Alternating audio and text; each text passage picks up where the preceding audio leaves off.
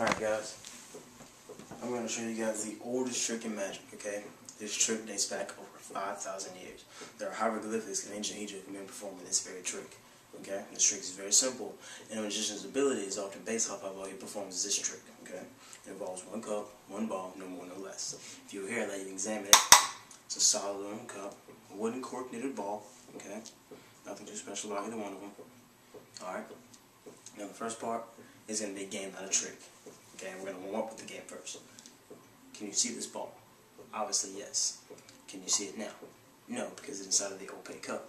If I turn the cup over, it becomes visible on the other side of the cup. Okay, the first part is going to be a game, like I said before, and we're going to warm up right here, okay? This is the thing. I'm going to place the ball in the cup. I'll turn the cup over. Okay, in one motion, I'll place the ball in my pocket. You have to guess is the ball in the cup or it's in my pocket, okay? Only two choices, alright? Let's begin, okay? Place the ball in the cup. I'll turn the cup over.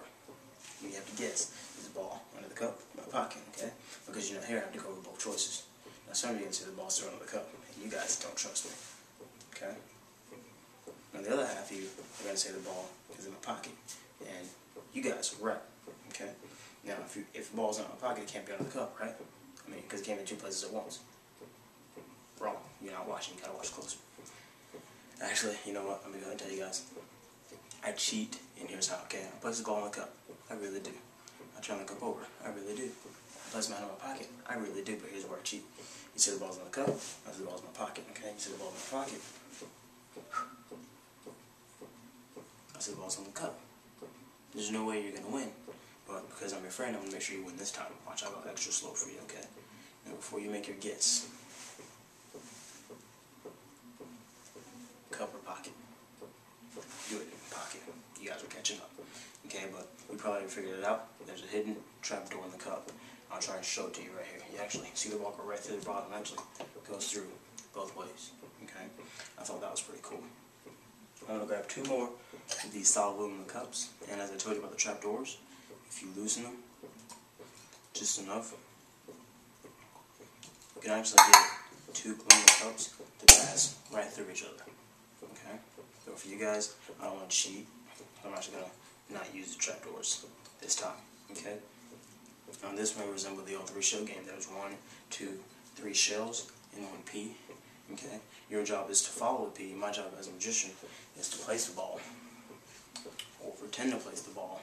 And have the ball appear where it's least likely. One more time. I'll place the ball here. I'll turn this over to here. I'll move these two the ball then jumps from here to over here. Okay? One last time I'll place the ball here. I'll switch these two, the ball then jumps from here to over here. Not many people like playing that game with me, so um, let's get on to the magic. I'll grab two more of these wooden corked yellow balls, okay? I'm going to show you an actual sequence of events from a 17th century bestseller known as Hocus Pocus Jr. Okay? The idea here is I'll place the ball in the middle cup. I'll place the ball on top. I'll take a seemingly solid little cup. I'll place it on top with a rub, snap, a tap. I can make solid, finish with solid, joining is made below. Now in the sequence, let's watch it again. This time the ball going through not one, but two solid aluminum cups. This method was a favorite of a man by the name of Matthew Buchinger, little man of Nuremberg. Matthew Buchinger stood only 28 inches tall. When stacked on top, the cups obscured almost his entire height. That's enough for three. Matthew Buchinger had no arms or legs, but he did have 14 children. The most famous man ever played the game, in the Italian Bartolomeo Bosco. Before every routine, Bosco would take his magic wand, he'd polish the tip, and he'd pray a prayer for every magic routine. Okay, now I'm going to show you Bosco's sequence of the cups and balls. The first ball is the easiest, okay? You place it into the hand, take the wand, place it through the hand, out the other side. That ball disappears, okay? Ball number two, I'm going to do the exact same thing, just a little bit. Different. Ball number three,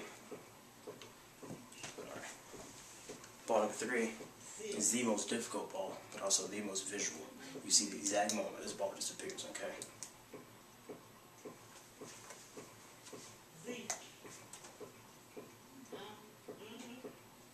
Never gets much of a reaction. But you actually see the exact moment this ball disappears, okay? Three balls gone, yet three balls return. Okay? Now we're going to get to the interactive part where you get to come and play, okay? I'm going to place the ball under each cup. Okay? And you to pick any cup you want, completely your choice. Pick cup A, B, or C. Pick any cup you want. A, B, or C, okay? Completely your choice.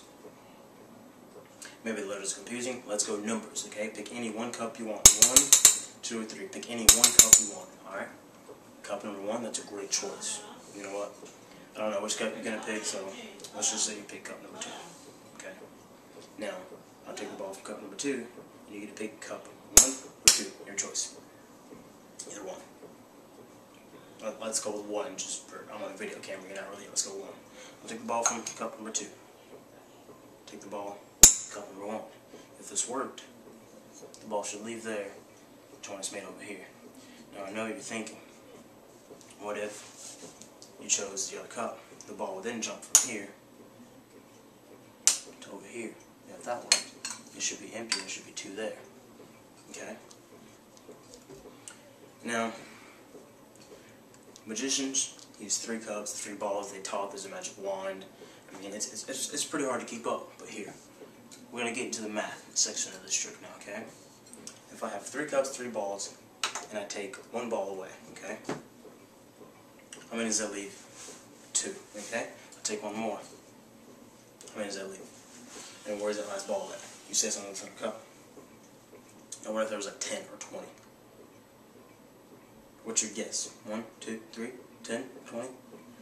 This is the best part. It's actually only one, but if you're watching closely, this one returned and this one returned, okay? Now, that's my cups and balls routine, but I'm going to give you one extra tip.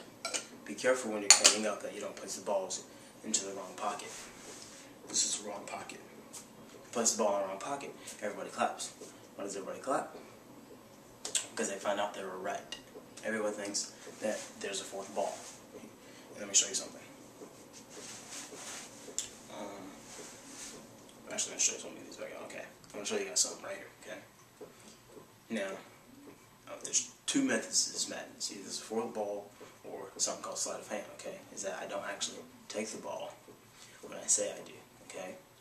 That's one thing. And the second one is that there's a fourth ball. You guys were right, because that fourth ball was right over here. I don't know how you missed this one, though.